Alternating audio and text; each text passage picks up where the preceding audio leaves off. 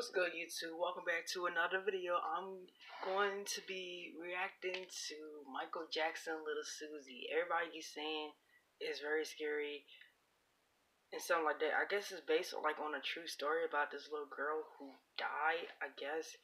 Um, I saying that Little Susie, um, somebody killed her when she was a little child and it's based off of like a true story. So I'm just gonna go ahead and play it so you guys can know what happened. So I'm gonna get ready to play the song. It's based off a true story, so I'm just gonna play it, and I hope there's no ads to it. Because if it is, I'm gonna be terrified. I'm pissed off. This is And you. it is. It's this is I'm sorry. And some days, this is you. So, yeah, here we go.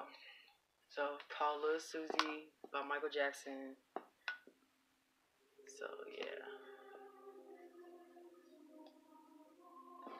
You kind of guys can hear it.